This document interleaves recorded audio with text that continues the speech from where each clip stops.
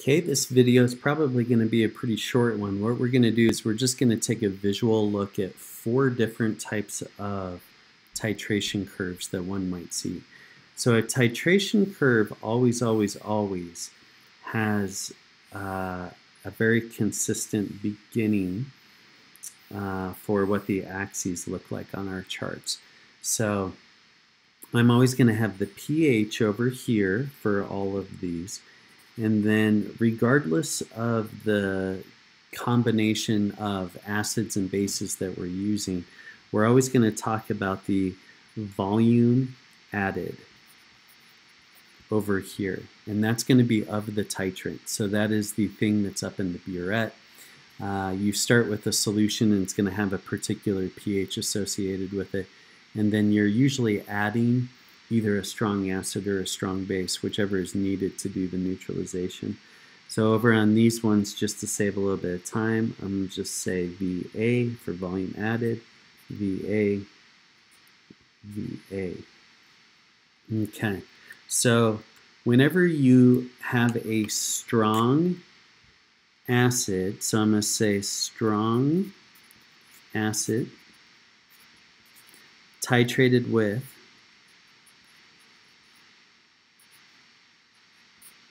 a strong base. Okay, I would have some sort of curve that's going to look like this. I would start down here, it's a strong acid, so before I add any volume of base, I better be way down here somewhere in very low pHs. So this could be down at 1 or something like that.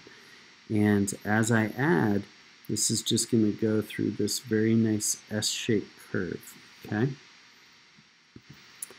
So that was a pretty good curve. I'm, I'm looking for something that has some symmetry. Like you would want to be able to peel this down and it should look very symmetrical. You see very rapid changes here when you're in and around pH 7. And I'm going to take what I think might be the middle of this particular spot and I'm going to go over it and I'm going to say that is pH 7 right there. So this might be something like a, a I don't know, a 1, and this might be a 13 or so up here. It depends on what concentration I'm actually starting with. But this is that characteristic curve that you should see. So what about when you are doing a strong base with a strong acid titrant? Okay, so again, this is the stuff that's up uh, in the burette. This is going to start way up at high pHs because it's a strong base. It's going to go down, nice steep part of the curve, and go over. And that should be pretty symmetrical also. Right wherever I think is the middle of that, I'm going to put a pH 7 right there. This could be, for example, up at a 13, and this could be down close to a 1. Again, it really depends. Now, in both cases, uh, this location here, we call this the, this, this is the equivalence point. This is when uh, the, all of the acid in this case that we started with has had enough volume added of the base so that we have neutralized everything. And so this is really a stoichiometry problem in this part here where uh, once you get to this location, you have perfect ratios of your acid and your base so that you have completely neutralized. Over here, we actually still have excess acid because we're acidic. And over here, we have excess base.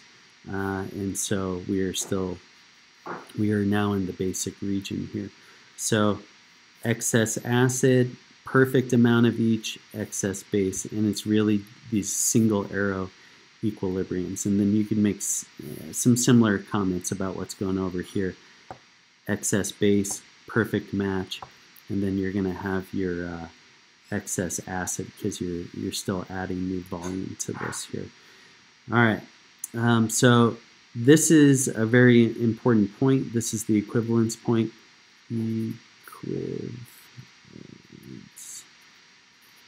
point. Um, and down here, we tend to also talk about the endpoint. Now, somewhere in this range, usually you have, and I'm just kind of coloring in over here, you tend to have some sort of color change if you have a uh, something like phenolphthalein also in the solution. So remember, phenolphthalein starts clear and then it turns pink when it's in high uh, pHs. And so somewhere in this region, perhaps, and we can look up when phenolphthalein turns, uh, but what it's going to do is somewhere in that zone, you're going to see a color switch. In this case, we would go from pink to clear if we were doing it here.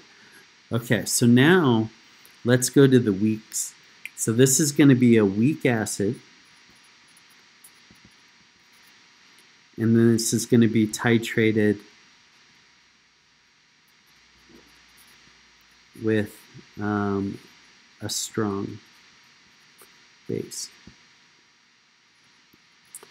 Okay, this is going to be uh, a weak base titrated with uh, a strong acid. Okay, so notice whatever's up in the burette, that's what we're using to titrate with. We always use strongs for those. Nobody in their right mind would ever use a weak acid and then titrate with a weak base. This is way more complicated than it needs to be. The goal of the titration typically is to figure out exactly um, how much you have for your unknown um, in the sample to begin with. And so it's just really not very useful for us to use a weak against a weak because uh, the equilibrium chemistry can be quite complicated. All right, so now I'm going to draw what does it look like for a weak acid. And I want you to notice, first of all, up here I said we started at something super low like a 1.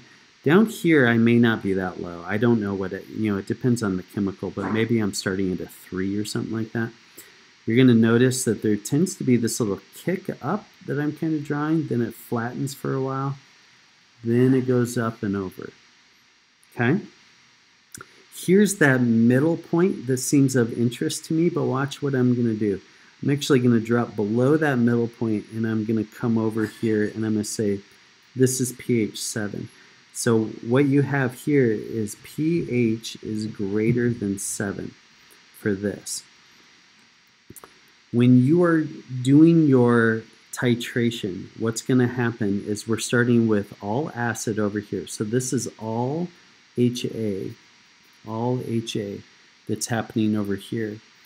And what we're doing is we're putting in something like a sodium hydroxide or a potassium hydroxide and we're ripping these protons off of this stuff. Or actually, given that it's a strong, they're already separated.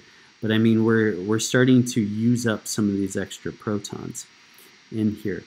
And so by the time I actually neutralize, uh, I've put in a lot of OH minuses here, and they're going to go find those H pluses. Over here, I'm effectively all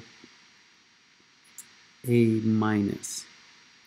Um, I'm almost all conjugate base, and part of me, I just realized that I had said before that this was a strong acid, and that was incorrect. I'm doing a weak acid. So these are staying largely together, but I am still nonetheless taking the protons away from them as I add the OH minus. I get over here, and I'm effectively all A minus by the time I get to the equivalence point over here. But the deal is, is that it is not a brilliant approximation to say that this all actually stays as A minus. This is a weak base. And so it's going to actually raise the pH of this solution by just a little bit because this thing is going to go find some fresh waters in solution and very occasionally it's going to take an H plus from them. It's going to go back to looking like this form. Um, but in that process, it's going to make a little bit of OH minus. So that's why the pH is above 7 here. Okay, let's just do this last one. This is going to have a little kick associated with it often. It's going to kind of loop down. All right, so here's where I think my main, my middle, kind of the equivalence point is.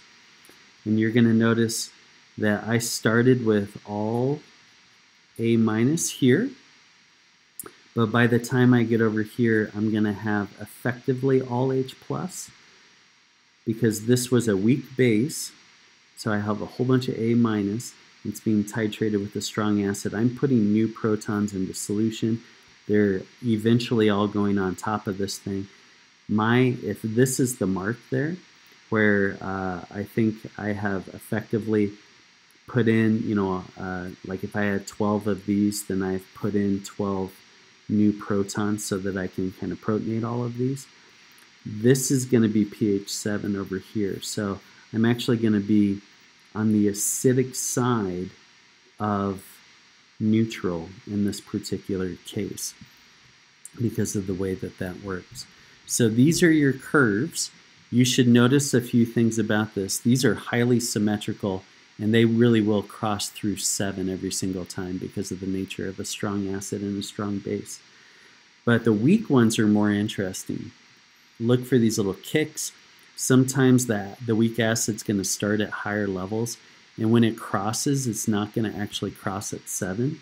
Just like over here, the weak base is not going to cross at 7. Um, it's going to be a little bit south of that. You can see the little kick there that I kind of drew.